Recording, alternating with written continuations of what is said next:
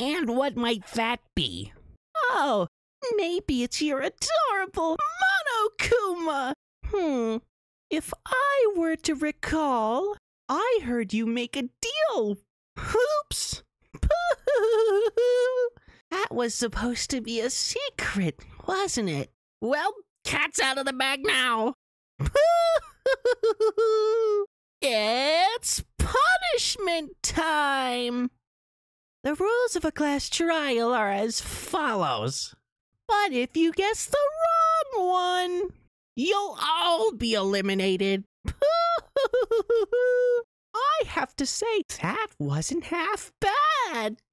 Now, do the rest of the Danganronpa cast. Good luck trying to do Nekomaru.